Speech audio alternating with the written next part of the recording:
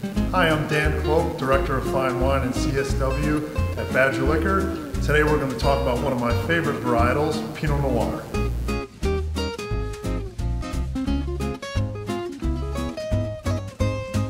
Fun fact, did you know that Pinot Noir is the most expensive wine in the world? The most expensive wine in the world is Pinot Noir from Burgundy, France, Pinot Noir's hometown. It is expensive because Pinot Noir is not the easiest grape to grow.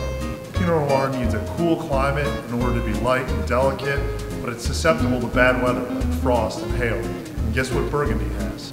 Regardless of being a difficult grape, if you do it right, you're going to have an amazing wine.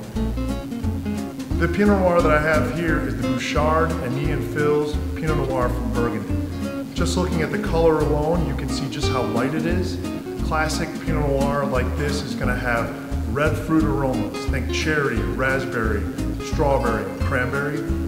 If it was grown in a really cool climate like Burgundy is, those flavors are going to be a lot more tart than a region that was a bit warmer.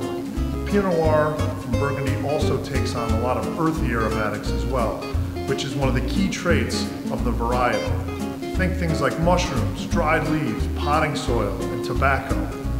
Don't be scared of these flavors. They add complexity and make the wine really amazing with